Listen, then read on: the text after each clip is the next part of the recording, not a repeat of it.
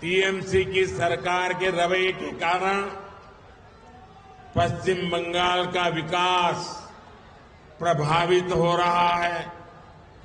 TMC सरकार की सजा यहाँ का गरीब और मिडिल क्लास भुगत रहा है।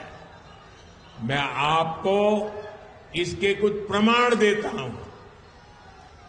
झारिया और रानीगंज कोल फ़ील्ड का प्रोजेक्ट हमने लगभग छह साल पहले शुरू किया था। लेकिन यहाँ की सरकार इसको आगे बढ़ने नहीं दे रही है। अट्ठारह हज़ार करोड़ रुपए का यह आंकड़ा याद रखिए, अट्ठारह हज़ार करोड़ रुपए जगदीशपुर, हल्दिया और बोकारो, धामरा पाइपलाइन प्रोजेक्ट भी चार साल से पेंडिंग पड़ा है। राज्य सरकार का सहयोग न मिलने के कारण तारकेश्वर से विष्णुपुर रेल लाइन का काम भी रुका पड़ा है। हज़ारों करोड़ रुपए के ऐसे अनेक प्रोजेक्ट्स जिनके लिए केंद्र सरकार ने पैसा सैंक्शन कर दिया, लेकिन काम नहीं हो पा रहा है। यहाँ तक कि टीएमसी सरकार गरीबों के घर तक नहीं बनने दे रही है। पूरे देश में मोदी ने चार करोड़ से अधिक गरीब परिवारों को पक्के घर दिए हैं।